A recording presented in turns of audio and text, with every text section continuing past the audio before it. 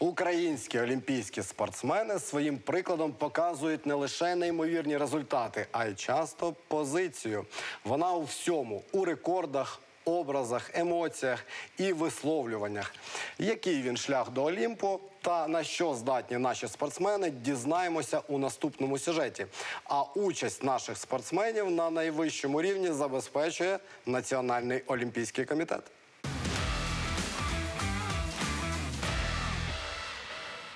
Її другий дім фехтувальна доріжка. Її зброя шабля. Сьогодні Ольга Харлан найтитулованіша українська спортсменка за кількістю медалей на Олімпійських іграх. Яким був її шлях до Олімпу?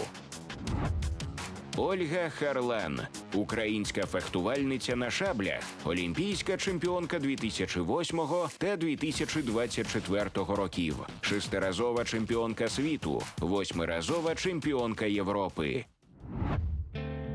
Спорт те, що оточувало маленьку Олю з дитинства. Її тато займався вітрильним спортом. Однак свою донечку батьки вирішили віддати на бальні танці. Красиво, витончено, жіночно. Здавалося б, ідеальне заняття для дівчинки. Але воно не із дешевих, тож згодом через фінансові труднощі Ольга була змушена залишити танці.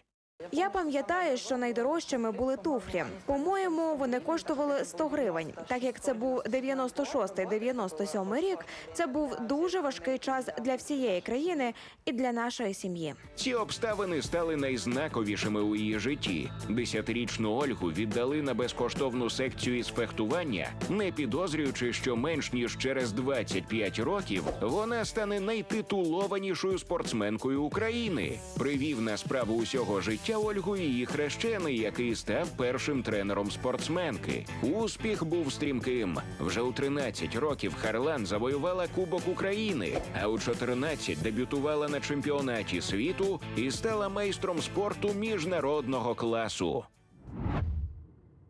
Майбутнє стало очевидним. Ольга олімпійська надія України. У 17 років Українка стала чемпіонкою світу серед юніорів. А через рік, у 2008 році, взяла участь у своїх перших Олімпійських іграх у Пекіні і не безрезультатно. Харлан у складі інших фехтувальниць сенсаційно перемогла китаянок та отримала командне золото. Перша олімпіада Ольги і відразу золота. Але вже тоді усі зрозуміли, що це далеко не остання нагорода українки. Це було дуже класно, і звісно, популярність, е, звісно, е, грошові винагороди були. І на той момент е, я допомогла своїй родині стати краще, ну е, жити краще. На наступній Олімпіаді у Лондоні Харлан взяла бронзу в індивідуальних змаганнях. А між олімпіадами Ольга встигала будувати і особисте життя. У 2014-му, після чотирьох років стосунків, вона одружилася зі своїм колегою-фехтувальником Дмитром Бойком. Спільна робота, водночас і хобі, спільні плани та мрії. Вони здавалися ідеальною парою. Через два роки після цього на Олімпіаді в Ріо де Жанейро українська шпажистка знову бере бронзу в одиночці і срібло у командних змаганнях. Приблизно тоді ж її стосунки із чоловіком переживають кризу. Він поїхав до США. Ольга, яка відновлювалася після операції, розуміла, що понад усе хоче повернутися до України та продовжити свої тренування і кар'єру. Так і сталося. Пара почала жити на відстані, а короткотривалі зустрічі давали зрозуміти, що і вони вже не такі, як раніше, і їхні почуття.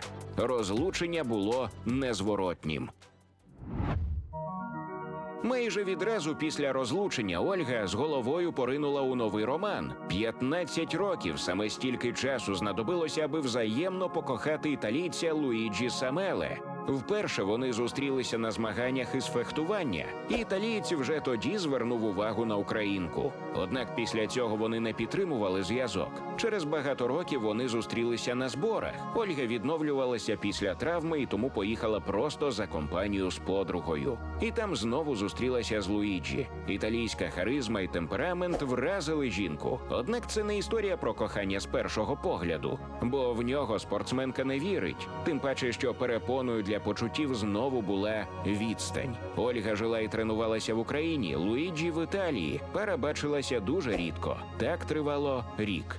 Ми дійшли до того, що ми повинні спробувати.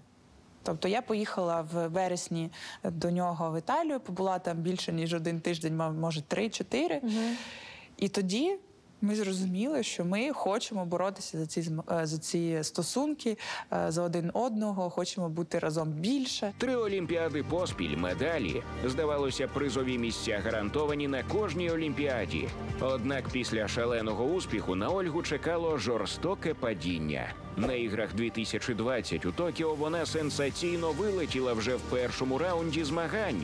Це стало неабияким потрясінням для спортсменки, і Ольга заявила, що бере паузу, бо їй потрібен відпочинок. Це була істерика, тобто я десь години три плакала. Тоді усі прихильники спортсменки хвилювалися, як довго триватиме перерва, чи чекати Ольгу на наступній олімпіаді. Однак вже у 2022 році вона повернулася до змагань, і в тому ж 22 році разом із командою завоювала бронзу на чемпіонаті Європи.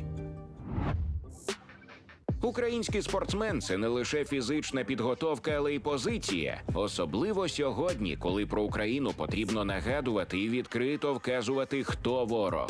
У спортсменів є така унікальна можливість на міжнародних змаганнях. І Ольга Харлан чи не найяскравіший цьому приклад. У липні 2023 року Ольга перемогла росіянку, тобто спортсменку під так званим нейтральним прапором.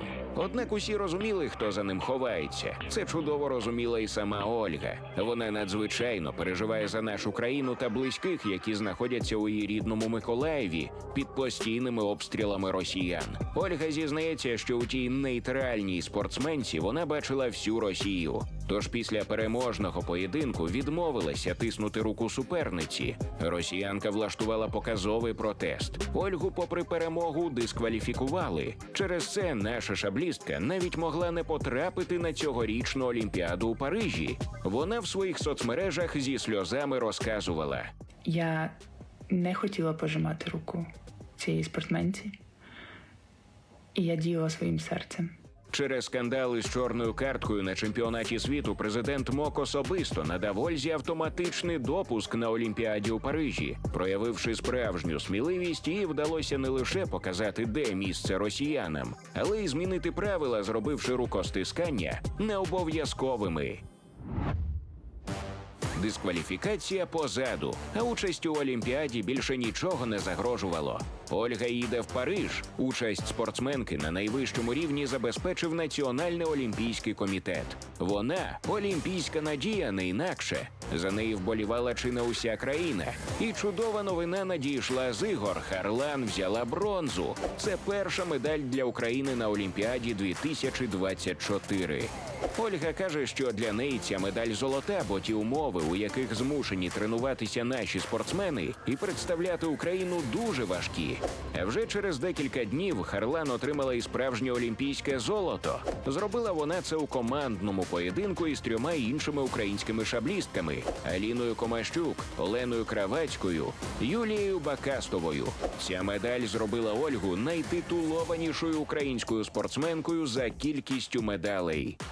Будучи там десятирічною дівчинкою, я пішла на фехтування, тому що воно було безкоштовне. І це якось історія іде, що я найтитулованіша в Україні спортсменка. Я ще не можу просто звикнути з цією мислі, е, цією думкою. Зараз Ольга продовжує будувати стосунки з Луїджі і зізнається, що чекає освідчення від коханого і вже готова до сім'ї та народження дітей. У них багато спільного, навіть медалі. Бо цього року у Парижі він, як і Ольга, завоював бронзу в особистій шаблі. А ще він одним із перших привітав свою Олю із завоюванням золота.